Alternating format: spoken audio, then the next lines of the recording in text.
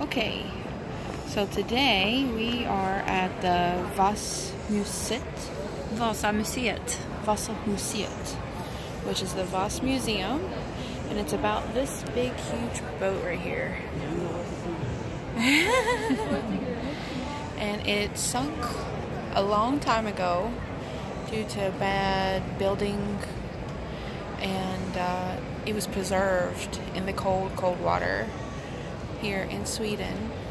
It was in the water for 300, 300 like years. 333 years or something like Yeah. that.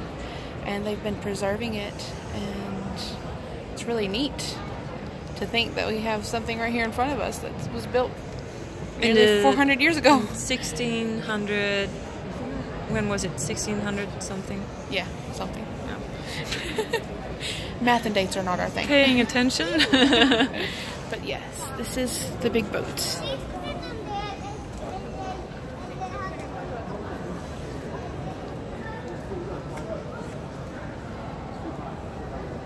So, screen's not big enough to get it all in there, but that's where we're at today.